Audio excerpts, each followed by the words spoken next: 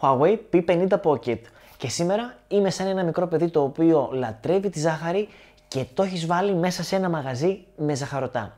Σήμερα λοιπόν θα ανοίξουμε ένα κινητό το οποίο από την πρώτη μέρα που κυκλοφόρησε το ζαχαρώνω, εδώ και τα ζαχαρωτά, και σε αυτό το βίντεο θα το ανοίξουμε, θα το δούμε, θα δούμε τα χαρακτηριστικά του και είμαι υπερβολικά ενθουσιασμένος παρότι προσπαθώ να το κατευνάσω που θα το κάνουμε αυτό το πράγμα. Είμαι ο Greek της καρδιάς σας, καλώς ήρθατε σε ακόμη ένα unboxing που θα κάνουμε μαζί. Μην ξεχάσετε να εγγραφείτε, μην παραλείψετε να πατήσετε το κουμπί με το κουδουνάκι για να μπορείτε να παίρνετε ειδοποιήσεις για κάθε καινούργιο βίντεο που ανεβαίνει και πάμε να προχωρήσουμε στο unboxing.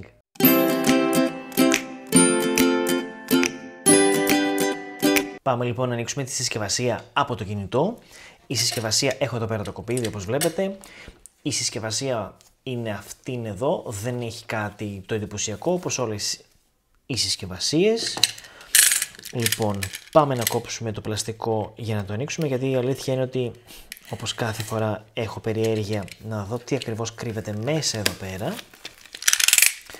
Το κοπίδι δεν θα το χρειαστούμε άλλο. Πάμε να ανοίξουμε το κουτί σιγά σιγά και φαντάζομαι ότι μέσα θα βρούμε και το κινητό ανοιχτό, όχι διπλωμένο, ναι. Ωραία. Άρα λοιπόν, τι μας λέει εδώ πέρα; This product is a foldable phone with a flexible screen. Please take note of the following. Έχει εφαρμοσμένο ήδη ένα film μέσα, οπότε έχει ήδη προστασία. Πάμε να δούμε λίγο τι άλλο έχει μέσα εδώ. Precautions, ωραία. Ό,τι γράφει πάνω και το πλαστικό Λοιπόν, εδώ πέρα μας έχει κάποια ενημέρωση για να δούμε ακριβώς τι πρέπει να κάνουμε για να χρησιμοποιήσουμε το κινητό. Χρησιμοποιούμε το Petal Search, χρησιμοποιούμε το Phone Clone και το App Gallery για να κατεβάζουμε εφαρμογές, να μεταφέρουμε εφαρμογές από άλλη συσκευή ή να κάνουμε αναζήτηση για οτιδήποτε χρειαζόμαστε. Εδώ πέρα μας δείχνει ακριβώς και που είναι στο τηλέφωνο η κάρτα SIM, η υποδοχή και την κάρτα SIM. Εδώ πέρα έχουμε αυτό που βάζουμε και βγάζουμε ον, α, Εμένα να με συγχωρείτε που εκπλήσουμε έτσι, αλλά δεν ήξερα ότι μέσα έχει και κάλυμα. Α, το καλό. Δεν ξέρω, δεν ξέρω αν ακούγεται. Αλλά είναι πάρα πολύ ωραία η αίσθηση που έχει. Τέλειο. Τελικά όταν η εταιρεία θέλει να δίνει κάτι παραπάνω, το δίνει πάντα. Λοιπόν, και αυτό. Θα το δούμε πώς εφαρμόζεται αμέσως μετά. Μπαίνει και εδώ στην άκρη. Έχουμε τον φορτιστή, δεν ξέρω αν ακούγεται ανίκιο σε κάποιους. Και το καλώδιο. Το καλώδιο είναι USB-C. Λοιπόν, θα το τραβήξω ελαφρώς γιατί δεν μου αρέσει να τα ανοίγω. Ναι, USB-A σε για να δούμε. USB-C. Αυτό το καλώδιο είναι αυτό που χρειάζεται για να μπορεί να υποστηρίζει και τη φόρτιση που υποστηρίζει ο φορτιστής γιατί ο συγκεκριμένος, αν το δούμε, είναι ο Huawei Supercharger, ο οποίος βγάζει μέχρι 40W. Το γράφει επάνω για να ξέρουμε ακριβώς τι βγάζει. Ανάλογα το κινητό η Huawei στέλνει και, το αντίστοιχο, ε, και τον αντίστοιχο φορτιστή. Πάμε λοιπόν τώρα να ανοίξουμε την συσκευή. Εγώ αυτό δεν θα το ανοίξω καν. Θα το βγάλουμε έτσι. Η συσκευή λοιπόν είναι αυτήν εδώ. Την έχει ανοιχτή. Λοιπόν, εδώ πέρα. Εδώ που είναι το σημείο που διπλώνει. Έχει μια αμυδρά αίσθηση, να το πω έτσι, από, από το δίπλωμα. Που είναι αναμενόμενο βέβαια, γιατί ούτως ή άλλως η οθόνη διπλώνει. Όντως, Τώρα δεν θα το πιάσει, δεν το δείχνει εδώ η κάμερα, δεν φαίνεται γιατί είναι πάρα πολύ καλά εφαρμοσμένο. Έχει μεμβράνη επάνω, το καταλαβαίνεις, αλλά δεν πειράζει. Λοιπόν, εδώ πάμε λίγο να δούμε τι έχουμε από το πλάι. Έχουμε το κουμπί που αυξομειώνει την ένταση του ήχου. Έχουμε το κουμπί με το οποίο ανοιγοκλίνουμε τη συσκευή. Εδώ πέρα από ό,τι καταλαβαίνω είναι ενσωματωμένος και ο αναγνώστης δαχτυλικών αποτυπωμάτων. Από πάνω έχουμε το κλασικό μικρόφωνο που έχουν όλες οι συσκευές που είναι το δεύτερο μικρόφωνο.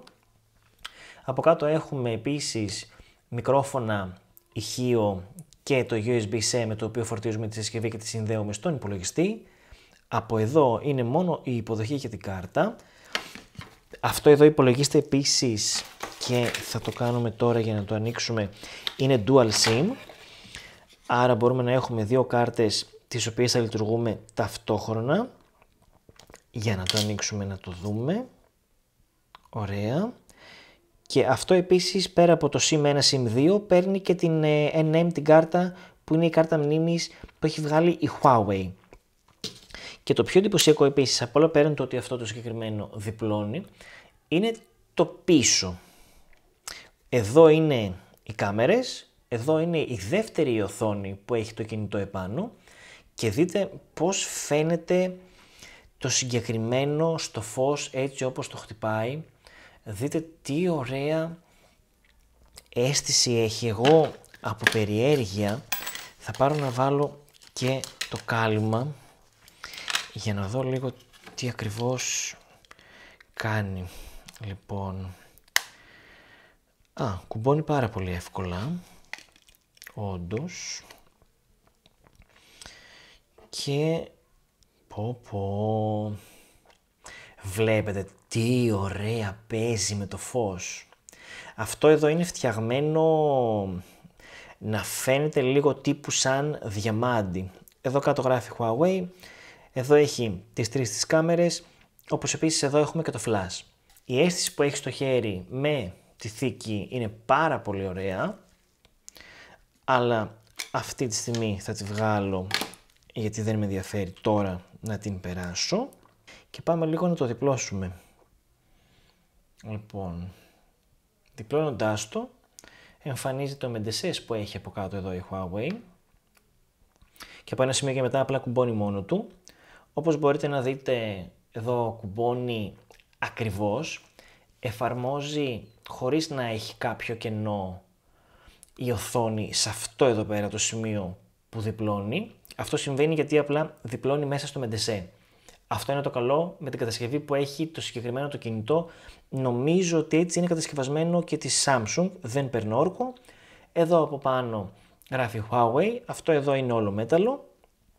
Στο κλείσιμο και στο άνοιγμα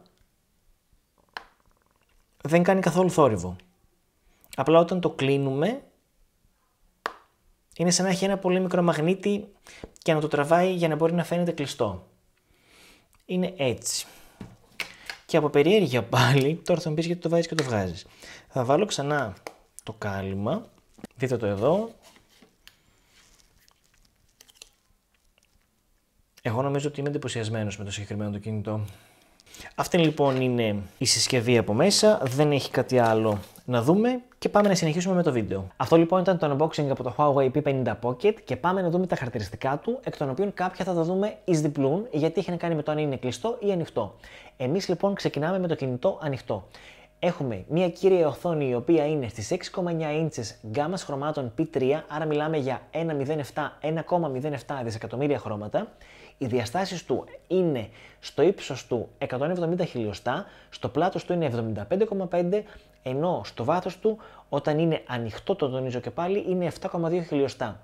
Όταν ερχόμαστε λοιπόν και το κλείνουμε αυτό το κινητό, διπλωμένο είναι στο ύψος του 87,3 χιλιοστά, το πλάτος του προφανώς δεν αλλάζει, άρα παραμένει στα 75,5, ενώ το βάθος του αλλάζει, διπλασιάζεται και πάει στα 15,2 χιλιοστά.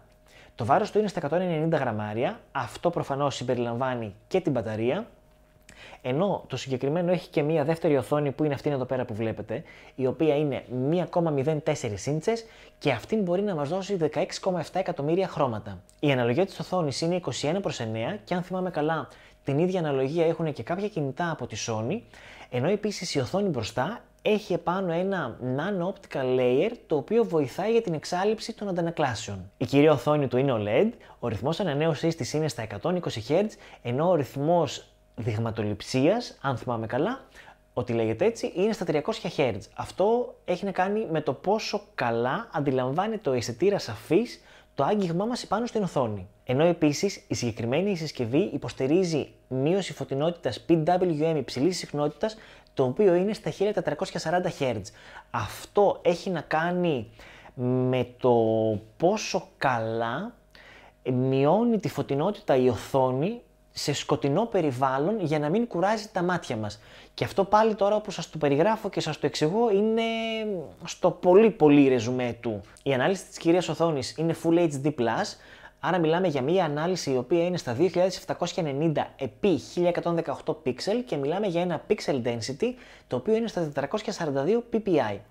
Η πίσω η οθόνη η οποία είναι η cover screen την οποία την ονομάζει η Huawei είναι επίσης OLED η συγκεκριμένη είναι στα 60 Hz όσον αφορά τον ρυθμό ανανέωσης, ενώ ο ρυθμός δειγματοληψίας αυτής είναι στα 120 Hz. Η ανάλυση της είναι 340 x 340 pixel, ενώ εδώ έχουμε ένα pixel density το οποίο είναι στα 328 ppi. Έρχεται με τον επεξεργαστή Snapdragon 888 των 4G και αυτό έχει να κάνει με τον περιορισμό που έχει η Huawei από τις ΗΠΑ και δεν μπορεί να χρησιμοποιήσει κάποια πράγματα μέσα σε αυτά είναι και το 5G. Ο συγκεκριμένος επεξεργαστής, ωστόσο, είναι οχταπύρινος και φοράει επίσης την GPU την Adreno 660. Έρχεται με το EMUI το 12, αυτό λογικά είναι φορεμένο επάνω στο Android το 10, ενώ όσον αφορά τη μνήμη του έρχεται με RAM 8, ενώ η ROM του, η μνήμη δηλαδή του κινητού και εκεί που αποθηκεύουμε τα αρχεία μας, είναι στα 256 GB. Είναι δηλαδή αρκετά μεγάλη. Όσον αφορά τις κάμερές του, εδώ πέρα πίσω έχουμε τρεις, η κύρια είναι στα 40 MP, είναι True Chroma με διάφραγμα 1,8, έχουμε μία ευρυγόνια η οποία είναι στα 13 MP με διάφραγμα 2,2 και πεδίο λήψης φωτογραφίας στις 120 μοίρες. Ενώ έχουμε μία ακόμα, την Ultra Spectrum, η οποία είναι στα 32 MP με διάφραγμα 1,8. Δεν έρχεται με οπτικό zoom, άρα μιλάμε κατευθείαν για ψηφιακό zoom και αυτόματη εστίαση.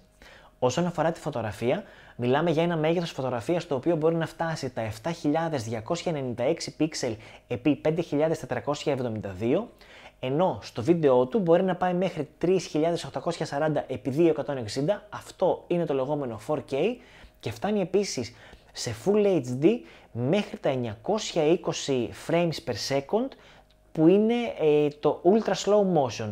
Το ultra, το ultra slow motion βέβαια το επιτυγχάνει φυσικά με την τεχνητή νοημοσύνη γιατί κάτι παίζει με τα pixel κάπου, όχι με τα pixel, με τα frames, κάτι κόβει, κάτι χάνει, κάτι ράβει, κάτι βάζει και φτάνει τα 960 frames per second. Έρχεται με selfie κάμερα 10,7 MP, ευρυγόνια με διάφραγμα 2,2 ενώ το μέγεθος της φωτογραφίας το οποίο μπορεί να τραβήξει είναι 3776 pixel επί 2832 και όσον αφορά το βίντεο το οποίο μπορεί να τραβήξει η selfie κάμερα την οποία έχει εδώ μπροστά, μιλάμε και εδώ για 4K βίντεο έως 4K 3840 επί 2160. Έρχεται με μπαταρία στα 4000 mAh η οποία μπορεί να φορτίσει σε supercharge στα 40W. Άρα δηλαδή λογικά αν κρίνω από το δικό μου το κινητό με τα 40W θα φορτίζει περίπου σε 1 ώρα και 10 λεπτά στο max.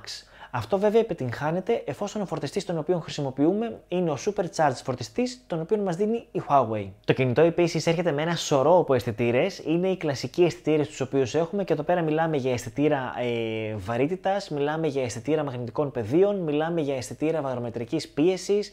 Ε, το κλασικό γυροσκόπιο το οποίο έχουν όλοι έχει πηξίδα, αισθητήρα φωτισμού περιβάλλοντος, εγκύτητας, έχει έναν αισθητήρα τον οποίο τον λέει 10 channel multi-spectrum. Αυτό από ό,τι καταλαβαίνω έχει να κάνει με την κάμερα.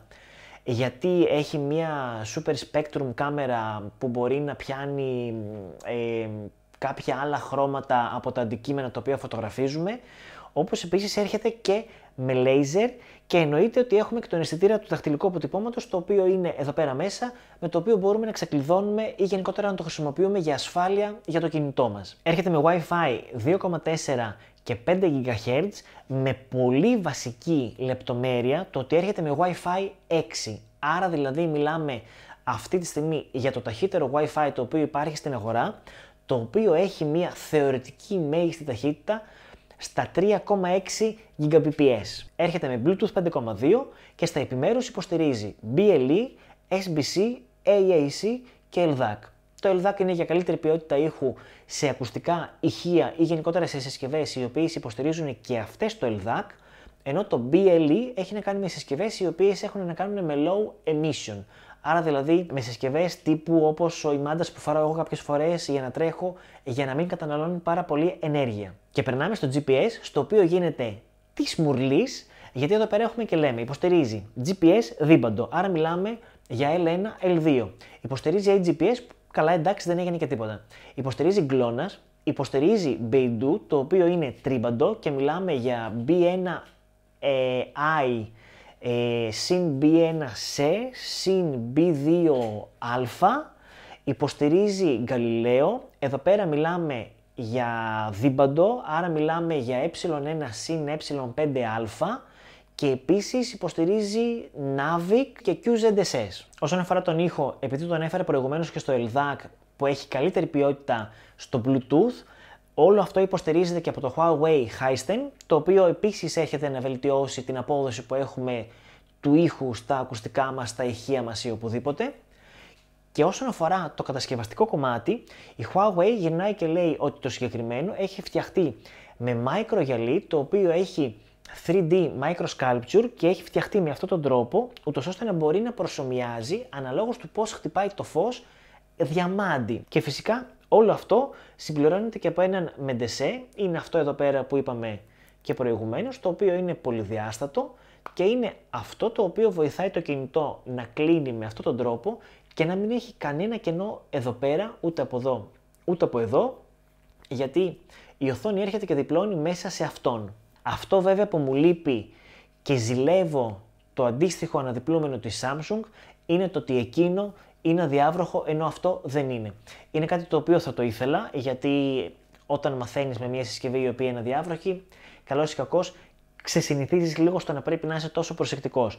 Αλλά δεν είναι και deal breaker που λένε. Όσον αφορά το φωτογραφικό κομμάτι, γιατί καλώς ή κακώς η σειρά P μας έχει συνηθίσει σε κάμερες οι οποίες αποδίδουν διαφορετικά καλύτερα. Στο συγκεκριμένο κινητό έχουμε το Super Portrait και το Super Pro, το οποίο έχει να κάνει με πορτρέτα για να μπορούμε να βγάζουμε καλύτερα.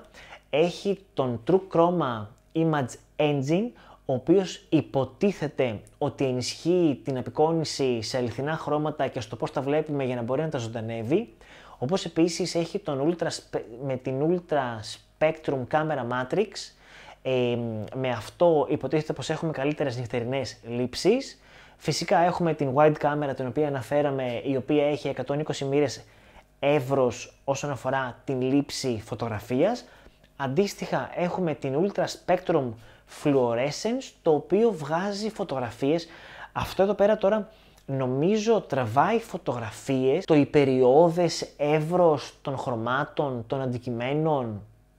Δεν έχω καταλάβει για να σας πω την αλήθεια ακόμα ακριβώς τι τραβάει, αλλά θα προσπαθήσω να το δοκιμάσω. Και φυσικά την cover screen που έχουμε δει εδώ πέρα, την οποία έχει απ' έξω, δεν την έχει απλά για να την έχει, είναι μια οθόνη την οποία μπορούμε να χρησιμοποιήσουμε είτε σαν οθόνη στην οποία θα βλέπουμε τον εαυτό μας την ώρα που θα έχουμε το κινητό κλειστό και θα μπορούμε με αυτό να τραβάμε φωτογραφίες στον εαυτό μας απλά πατώντας εδώ πέρα. Είναι μια οθόνη στην οποία μπορούμε να βλέπουμε αν αναπαράγουμε μουσική, τι μουσική αναπαράγεται, θα μπορούμε να κάνουμε παύση αυτής, θα μπορούμε να πάμε στο επόμενο τραγούδι σε προηγούμενο. Είναι επίσης μια οθόνη από την οποία μπορούμε να διαχειριστούμε τις κλήσεις και να απαντήσουμε σε αυτές, ενώ επίσης το ρολόι, το ρολόι λέω, το, το κινητό, έχει μία ε, λειτουργία η οποία είναι η super privacy, super privacy mode, όπου όταν έχουμε το κινητό κλειστό με αυτόν τον τρόπο, απενεργοποιεί στο κινητό κάμερα, GPS, μικρόφωνο, ούτως ώστε να μην είναι καθόλου ενεργά για να είμαστε και καλά πιο ασφαλείς. Τώρα, βέβαια, δεν ξέρω κατά πόσο αυτό μπορεί κάποιος να βεβαιώσει ότι όντως το κάνει ή δεν το κάνει. Ωστόσο, υπάρχει αυτή η λειτουργία, ούτως ώστε να νιώθουμε πιο ασφαλείς όταν έχουμε το κινητό κλειστό. Αυτό λοιπόν ήταν το unboxing. Είμαι ο Greek GR της καρδιάς σας. Μην ξεχάσετε να εγγραφείτε, μην παραλείψετε να πατήσετε το κουμπί με το κουδουνάκι. Αυτό εδώ είναι το κινητό, το Huawei P50 Pocket και βλέπετε καθώς το κοινό εγώ τι παιχνίδι κάνει εδώ πέρα με το φως το 3D Sculpture. Ό,τι θέλετε μου το ρωτάτε, μου το γράφετε στα σχόλια. Μέχρι την επόμενη φορά να προσέχετε, να περνάτε καλά. Σας χαιρετώ. Γεια σας.